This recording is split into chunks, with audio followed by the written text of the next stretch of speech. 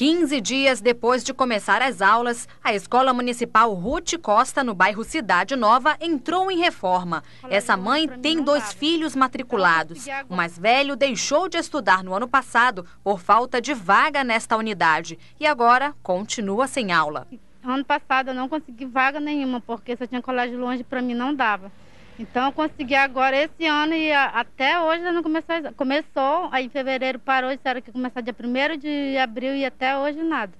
Esta outra mãe diz que a reforma pegou todos de surpresa. Se ela soubesse que as aulas seriam suspensas, teria procurado outra escola. Meu filho de seis anos está estudando aqui, está começando a escrever e tudo. Já estamos no meio do ano e depois, não sei se vai prejudicar, está prejudicando muito. O prédio já foi pintado por fora, mas ainda falta o reparo do telhado, serviços de marcenaria e acabamento. A rampa de acesso que está com o corrimão e o teto comprometidos vão ser os últimos a serem recuperados. O subsecretário de Educação do município explicou que a manutenção de uma escola demora entre 70 e 90 dias e se comprometeu a terminar a obra até o dia 20 deste mês. Ele disse ainda ainda que é impossível consertar todas as unidades durante as férias.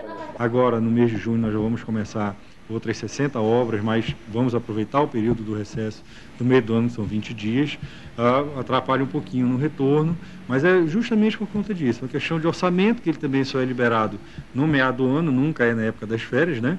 Uh, e a questão também de mão de obra que não tem disponível para fazer tudo ao mesmo tempo.